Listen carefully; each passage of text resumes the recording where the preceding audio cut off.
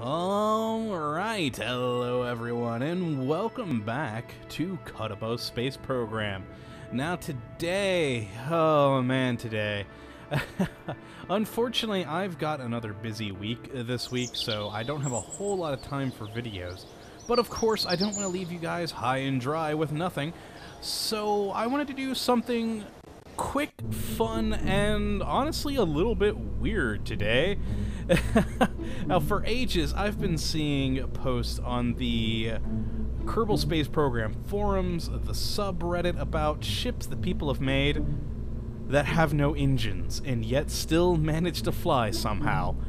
And, while I've never tried to do this myself, so I built this, uh, the simply named unpowered ship. very original, I know, right? and for safety's sake, I added one of these uh, launch stabilizer strut things and attached it to this. As I, I don't exactly know how you take one of these off, and I figured, hey, maybe if it gets a little drop first, it'll work. I I don't know.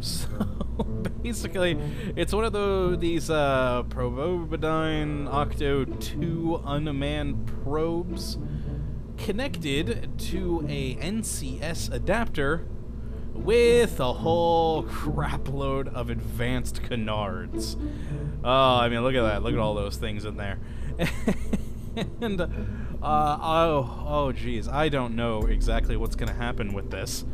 But like I said, I've been seeing them for ages online, and I thought, what the heck, let's give this thing a go.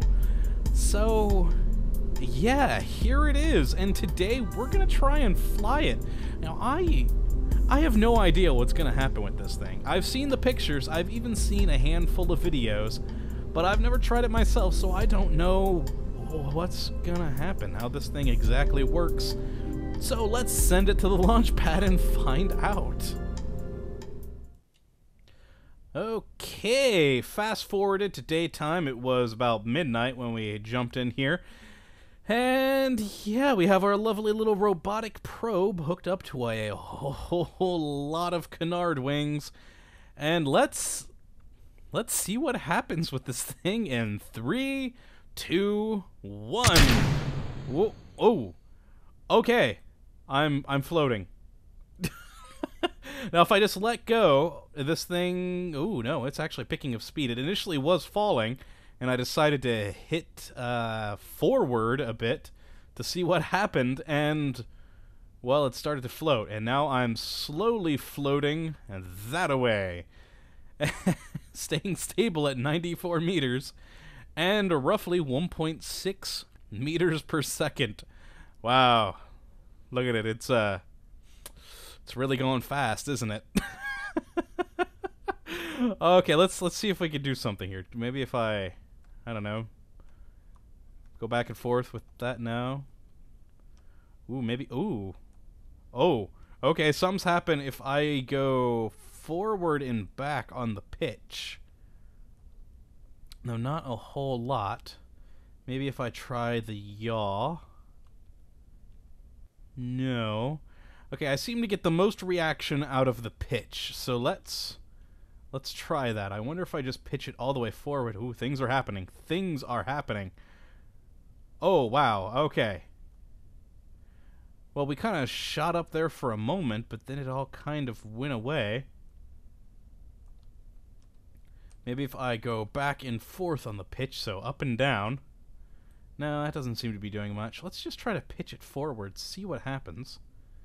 And let's lock this baby into SAS. We are currently... Oh, no, no, we lost a meter. We lost a meter. Let's... Okay, yeah, this is this is some quality entertainment right here, folks. I mean, look at this thing.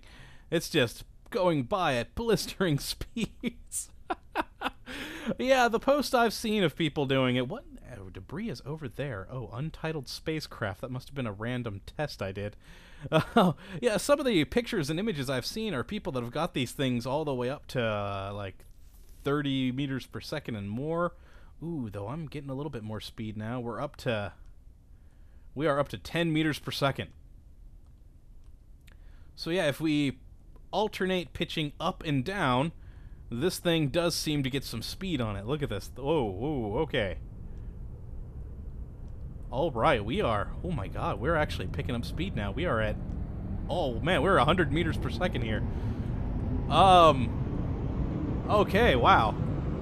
We are losing altitude though.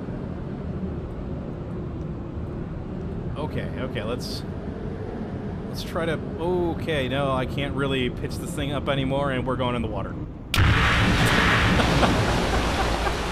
Okay, we got this thing up to 182 meters per second. That's actually huh. That's more than I thought it was. Oh no. Highest speed was 300 meters per second. Wow, that's that's impressive. Let's try this thing again. So yeah, it did definitely start to go faster when I was pitching up and down more, but I started to lose altitude, so that wasn't so good. Let's just hit spacebar and stage this to see what happens. Will it fall all the way down, or... Oh, nope, no, ooh. It took lift all by itself. And, woo, okay. It is just going up and down. I'm not touching any keys right now. and it is ooh, topping out at about just below 10 meters per second. And going quite nicely up and down. Now, I wonder if I yaw side to side, if that will do anything. So far, the pitching up and down seem to be the best. But it is definitely screwy. No, this doesn't actually seem to be doing anything. Let's try rolling. No, that's not either. Let's do the pitch up and down. Or, yep. Oh, that's not doing much. I guess we have to pitch forward a bit first. Seem to be the best way.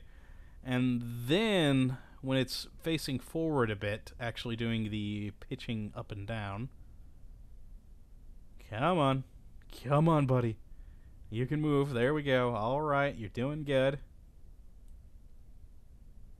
This thing just looks so weird. All right, let's try pitching up and down now. Well, no, we're... Uh, it didn't really seem to do much. I'm actually, if I just kind of keep it like this, we're basically hovering. Well... this could make for some very interesting probes on other planets, just have it slowly floating over the surface. And it is gaining speed, slowly but surely. Though I wonder, it, I have a feeling it's going to be dropping in altitude, but the gauge is moving so slow up at the top, I'm not entirely sure. I, I do believe it is falling. Um, but just very, very slowly. well, this could also make for an interesting system uh, rather than parachutes. I wonder how well one of these would work if you dropped it from orbit. Okay, yeah, there we go. We did lose a full meter now. I just noticed that. But yeah, I wonder how well one of these would actually work from orbit. Let's try pitching this thing again some more. Okay, we are picking up speed, so that definitely does seem the way to do it. But the problem is maintaining an altitude. Though we are actually gaining altitude right now. So I think perhaps I've found a good angle for starting it. Ooh, though we're we're losing altitude now. We are losing altitude. Okay, oh yeah, we are. We are gonna lose it again. Water. Yep. Oh man, I don't I do not understand how people have gotten these things to fly so well. Let's see, that time was 247 meters per second. Let's actually head back into the vehicle assembly building and I don't know, maybe add some more canards to this thing. Okay, let's see. I wonder if we just attach one of these structural fuselages and then add a whole load more of these canards. Uh, I kind of doubt that this is going to actually do anything, but at the very least it may be amusing. But who knows, adding more of these control surfaces could be our ticket to faster speeds and higher altitudes. Alrighty, let's plop that in there. As well lined up as I can imagine it. That should be good. Now let's go back to the launch pad. Yes, clear the debris. Okay, let's wait for the world to load here. There we are, and we have some sort of weird turbine-looking thing here. okay, and let's just drop this thing and see what happens. Woo, alright. So it does float, and it floats slightly faster than just the single stage up here, though, ooh, a bit less controllable. It seems to be swaying back and forth here. Alright, well, let's... Ooh, oh, we actually seem to have a bit more control over this thing. Maybe? No, no, no, no. I, I spoke too soon. Oh, jeez. I just find it hilarious that this thing is just floating there. all right, all right. Let's let's see if we can. Yeah, it's it seems to be the best way to do it is to pitch it forward a bit or in one direction and then do the back and forth from that though. This one is fighting me now. Huh. Well, let's try let's try pitching back and or yaw instead of pitch. No, no, that doesn't seem to want to do much either. Let's just try to roll the thing then. Come on, spin, you fool. No, that... Oh, jeez. This is just the weirdest thing I think I've ever built in this game, and that's saying a lot considering this is Kerbal Space Program. People have built some very, very weird things in this game. But this, this just seems to, oh man, I don't know. It it is definitely interesting. I, I really do want to test using this as a some sort of method of landing rather than parachutes. I think that would be kind of cool to try. But just trying to get it to fly is strange. I don't understand how people have gotten these things to actually fly properly. I've seen videos of these you know, buzzing by the VAB, though rather uncontrollably, but nonetheless. This one, hmm, seems a bit more odd.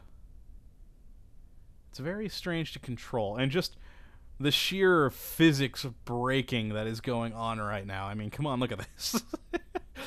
it's just a fuselage with some canards, and it's uh, floating, basically.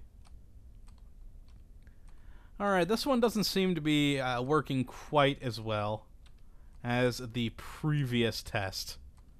So I want to try... I'm actually going to go back to the VAB, and we're going to try one more thing that I think might be very amusing. I'm just going to strap a solid rocket booster at the bottom of this thing. And, well, well, we should actually have a way so we don't have all the weight to uh, kick that thing off afterwards. Nope, that's the big one. We need you. There we go. Alright. no, no, no, I need you down here. There we go. let's launch. So let's try to get some altitude with this thing, and then try and fly it. Oh god, I have a feeling this is gonna go horribly wrong. Well, let's find out. Whoa! Oh, dear sweet God, no. Oh, whoa, okay, okay.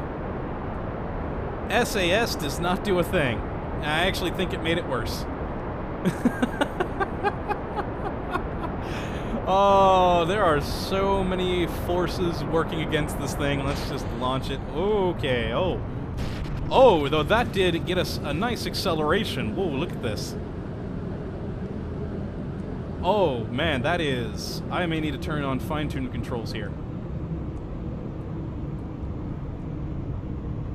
Okay, we got a good deal of speed off of this thing at first, but now we are...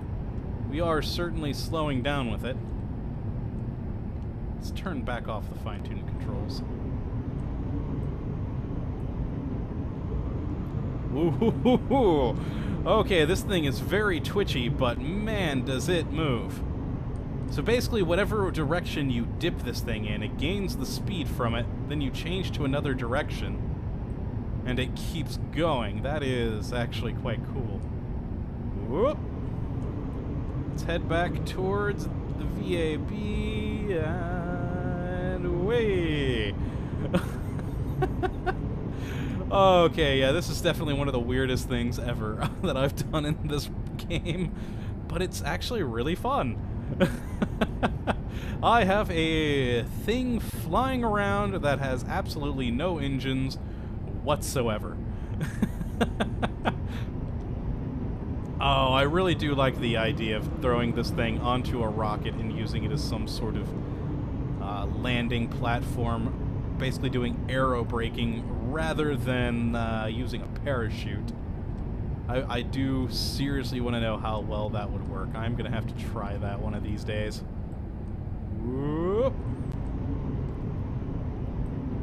All right, this is this is awesome.